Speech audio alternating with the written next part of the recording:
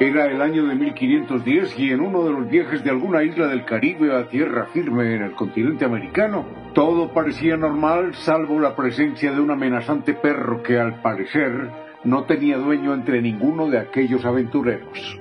El perro era conocido por todos como Leoncico, es decir, el pequeño león, y lo llamaban así por su corpulencia y por el color amarillo de su pelaje. El animal no desamparaba un gigantesco baúl que nadie sabía a quién pertenecía, y cuando el barco estaba en mitad del mar, el misterio se disipó.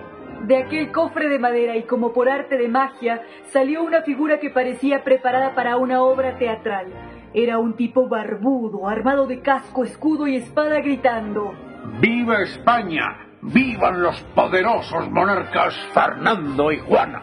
El polizón, en medio de su delirio y amenazante, era Vasco Núñez de Balboa, un perseguido por la misma justicia española, y el capitán a su vez amenazó con lanzarlo al mar o dejarlo en cualquier isla desierta. Pero después de una serie de acontecimientos novelescos, Vasco Núñez de Balboa pudo sobrevivir. Y más que eso, empeñado en alcanzar fama y fortuna, decidió cruzar aquella franja de tierra porque los nativos le contaron que el mar no estaba lejos. Entonces, sin respetar ninguna vida ni jerarquía, con su grupo de soldados y con la ayuda de su perro carnicero, Vasco Núñez de Balboa emprendió una dura marcha para alcanzar el océano que todavía no conocían.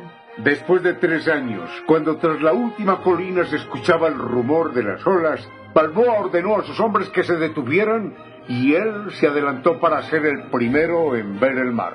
Y fue un día como hoy, 25 de septiembre de 1513, cuando aquel mar fue llamado el Mar del Sur y luego conocido como Océano Pacífico. Y dice la historia que todas sus aguas no serían suficientes para borrar los dolores que se vivieron en aquel capítulo escrito por conquistadores y nativos.